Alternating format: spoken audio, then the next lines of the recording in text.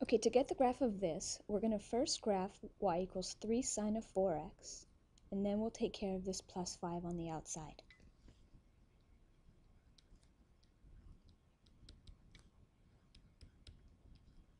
Okay, so for this we want to first find the period. The period is 2 pi divided by the absolute value of 4, which is 2 pi over 4, or pi over 2. Next we want to find the amplitude. The amplitude is the absolute value of the coefficient of sine, which is 3. The absolute value of 3 is just 3. The next thing we're going to do is we're going to mark off one full length of the period.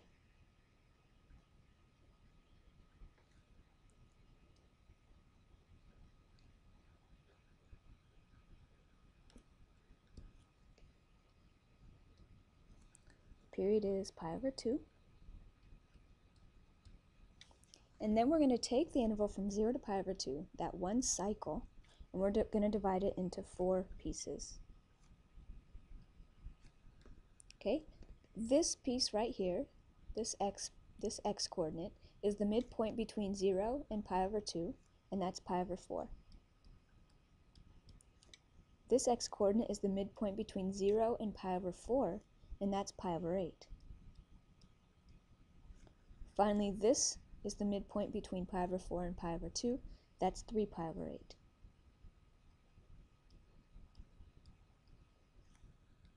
The next thing that we're going to do is we're going to go up the value of 3. That's going to be the highest point, and down 3 units, the lowest point.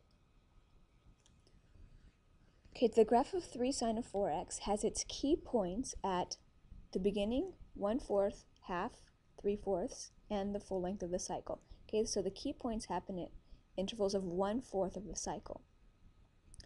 It starts off at x equals 0, in which case y is equal to 0. Then 1 fourth of the way across, it's at its highest point. Then it's back at 0. Then it's down at its lowest point. Then it goes back to 0. So that completes one full cycle of y equals 3 sine of 4x.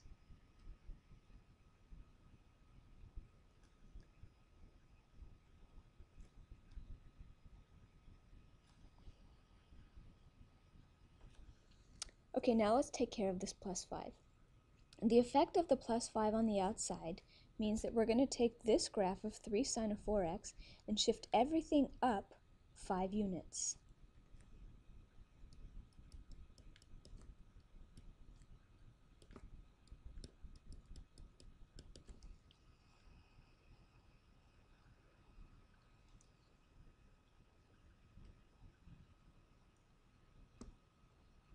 Okay, since we're only shifting up in the y direction, our x-coordinates are all going to remain the same.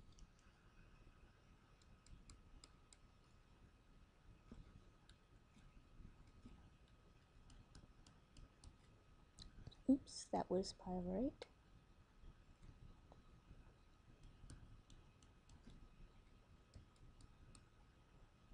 Okay, this y-coordinate of 0 gets shifted up 5 units. So instead of being at 0, it goes up to 5. This y-coordinate of 3 gets shifted up 5 units. That means we add 5 to the y-coordinate of 3. It's going to get us to 8. This y-coordinate of 0 goes to 5. So we're back here.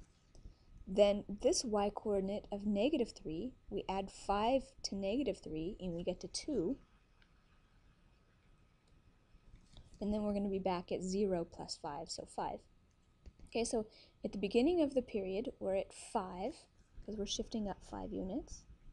One fourth of the way, we take this y-coordinate of 3 and shift it up 5 units. Gets us up here. Then we're back for, because of our original y coordinate of 0, we're back to 5. Then we're down to 2. Then we're back at 5. Okay, so again, what we just did to get all of these y coordinates is we took all of these y coordinates and added 5 to them.